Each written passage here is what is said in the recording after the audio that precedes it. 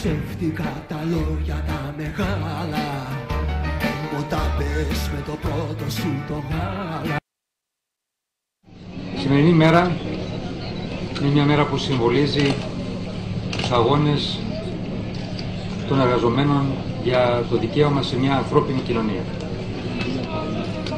Το μήνυμα το δικό μας, εδώ από τους φούρνους, από την άγωνη γραμμή, είναι ότι είμαστε αποφασισμένοι να εγγυηθούμε τα δικαιώματα του κάθε Έλληνα.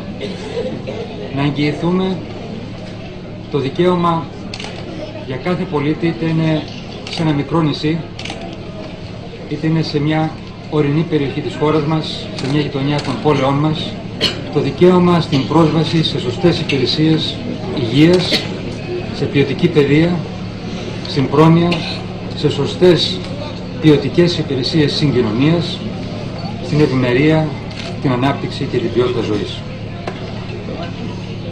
Μπορούμε να αποδείξουμε και το ξέρουμε ότι η Ελλάδα δεν είναι άγωνη γραμμή.